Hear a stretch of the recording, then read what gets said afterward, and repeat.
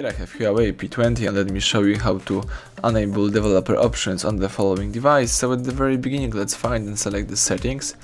Here you need to scroll down and let's find and select system. From the following list let's choose the about phone, the first one.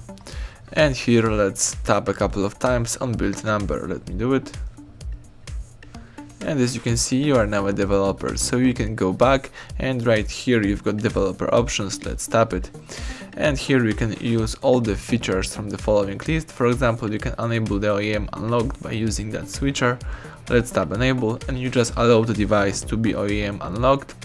You can also scroll down right here and for example find the USB debugging. You can enable the USB debugging tap OK.